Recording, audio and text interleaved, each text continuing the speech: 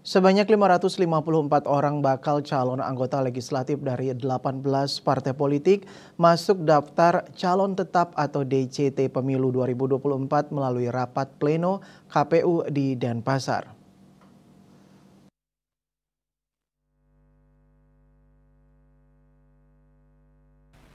Anggota KPU Bali Gede John Darmawan di Denpasar dikutip dari kantor berita antara mengatakan jumlah DCT 554 orang terdiri dari 348 orang laki-laki, 206 orang perempuan. Artinya sebanyak 37,18 persen DCT merupakan keterwakilan perempuan.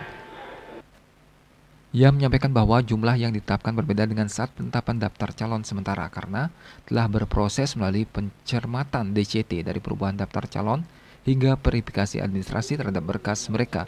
Awalnya ketika DCS penyelenggaraan meloloskan 560 orang, kemudian pencermatan menjadi 556 orang dan saat ini ditetapkan 554 orang karena dua bakal calon dari Hanura dan Nasdem mengundurkan diri. Peserta pemilu 2024 lain, DPRD RI, DPD Bali ditetapkan langsung oleh KPU RI, sementara DPRD Kabupaten Kota ditetapkan KPU Kabupaten Kota.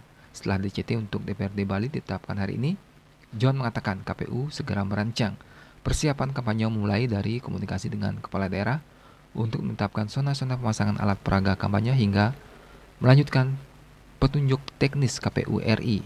Bali Pos melaporkan.